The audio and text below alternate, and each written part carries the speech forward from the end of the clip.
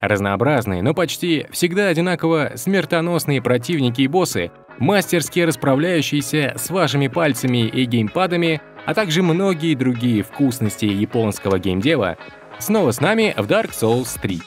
И сейчас мы постараемся заглушить бесконечную любовь к этой хардкорной серии и разберемся, действительно ли это стоит того, чтобы в очередной раз ехать за новым геймпадом.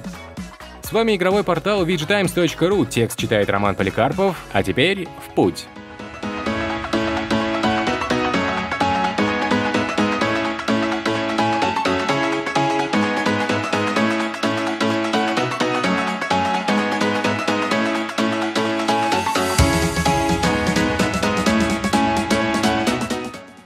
Третья часть, уже ставшей культовой серии от японских разработчиков From Software, наконец-то попала в руки геймеров, открывая им дорогу в королевство Лотрик, которое вполне ожидаемо похоже как на ладран из оригинальной игры, так и на Ярнам из консольного эксклюзива Bloodborne.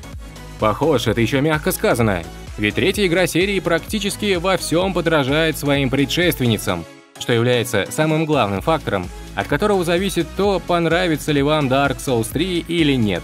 Ведь по сути, японский гений Миядзаки, который изобрел собственный жанр соусоподобных игр, даже не собирался менять основную концепцию, продолжая ее медленное поступательное развитие. История, ну или как минимум ее завязка, во многом повторяет прошлые игры. Главный герой, избранный мертвец, поднимается из своего уютного гроба, чтобы отправиться в долгое и опасное путешествие с целью предотвратить наступление конца очередного цикла Эры Огня. Для тех, кто не в курсе, поясним, что все три части серии происходят в одной вселенной, в которой вся жизнь возникает из особого первородного огня. В начале каждого временного цикла огонь, равно как и свет на небе, сверкает ярко, давая людям возможность создать государство.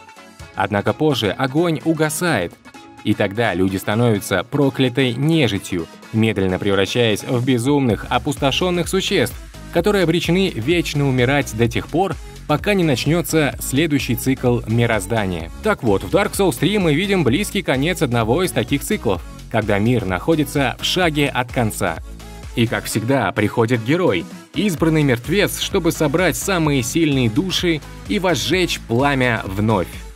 Впрочем, данная идея лишь бессменный скелет общей сюжетной композиции, которая призвана объяснить игроку, зачем, собственно, он слоняется по всяким злачным местам и постоянно дохнет почем зря. На самом деле история куда глубже, но открывается она только самым внимательным и усердным игрокам, которые читают описание каждого предмета в игре, а также пытаются понять пространные монологи местных NPC, коих традиционно немного. Говорить о сюжете Dark Souls 3 можно очень долго. Чтобы не испортить вам удовольствие, открыть его самостоятельно. Скажем лишь, что он сделан не хуже, чем раньше, и, несмотря на некоторую типичность для серии, все-таки представляет интерес, так как в нем нет опостылевших эльфов, орков и прочих троллей. А вот на игровой механике стоит остановиться, чтобы основательно разобраться в том, что нового нам приготовили разработчики – Изменений крупных немного. Во-первых, оружие, щиты и многие другие предметы, которые ваш персонаж может взять в руки, получили новую механику навыков. Так называемый martial arts — это особые действия, которые позволяют проводить мощнейшие комбинации ударов.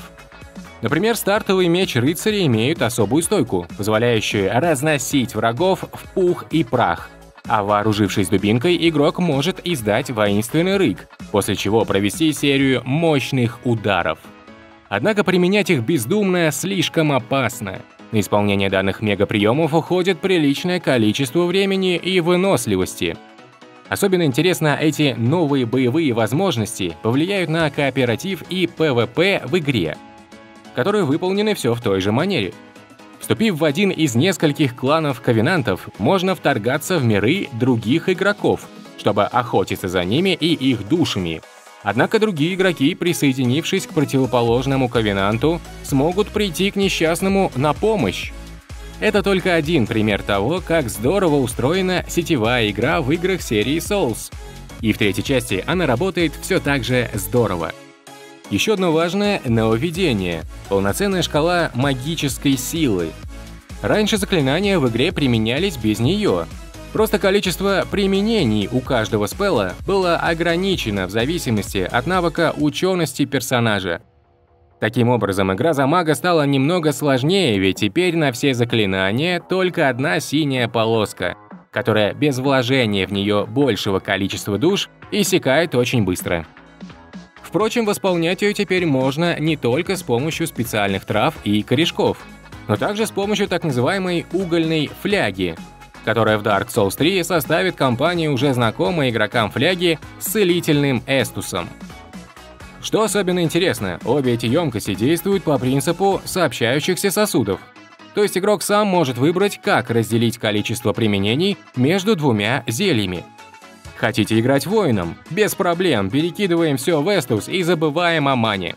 Играете за мага? Тогда придется выбирать, много маны или возможность чаще лечиться. Особенно интересно балансировать между двумя флягами, играя за какой-нибудь гибридный класс. Есть и другие новые фишки, которые связаны с новыми предметами и другими мелкими изменениями, которые перечислить не получится при всей возможности. Их слишком уж много. Новые предметы — это здорово, но несмотря на все вышеперечисленное, основной претензией к Dark Souls 3 является ее вторичность. Это связано с двумя аспектами. Во-первых, графически игра выполнена практически идентично прошлогодней Bloodborne, работая на абсолютно том же движке. При этом разработчики не только сохранили основную цветовую гамму своего прошлого проекта, но даже использовали огромное количество элементов из него, включая текстуры и многие элементы декораций. Доходит до смешного. Многие локации подчастую собраны из кусочков старых, а анимации некоторых противников так и вовсе скопированы без всяких изменений. Человек незнакомой серии запросто спутает эти две игры, Продолжая тему технической реализации, нельзя не упомянуть очень посредственную оптимизацию под видеокарты зеленого лагеря. Если у вас в системном блоке стоит карточка от NVIDIA, то игра будет выдавать подозрительно низкое количество кадров в секунду при приятной, но далеко не сногсшибательной картинке. Ждем новых драйверов, а еще ждем патчей, ведь игра порой ведет себя очень странно на некоторых компьютерах, даже при их полном совпадении с системными требованиями.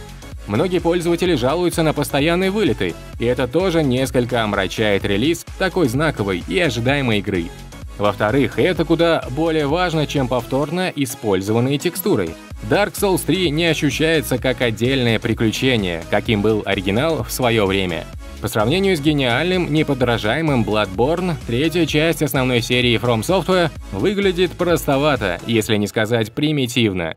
Примерно то же самое игроки говорили о Dark Souls 2, но та игра разрабатывалась другим составом разработчиков. Вот только Триквилл делал Миядзаки собственной персоной. Что же пошло не так? Вероятно, дело в том, что первая часть была рывком вперед, в то время как Dark Souls 3 сделана очень качественно, но все же продолжает общую линию, не предлагая никаких принципиальных изменений. Вообще есть мнение, что Миядзаки тут ни при чем, а оригинальная игра получилась такой удачной благодаря банальной случайности, как часто бывает с многими шедевральными произведениями человеческой мысли.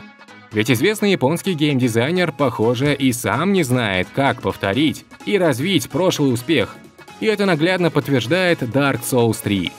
Да и к тому же, сам жанр соусоподобных игр уже успел выйти за рамки творчества одной студии – качестве примера можно привести сделанную на коленке всего двумя людьми Salt and Sanctuary, которая, судя по популярности, вполне неплохо копирует и переосмысливает основные идеи первоисточника.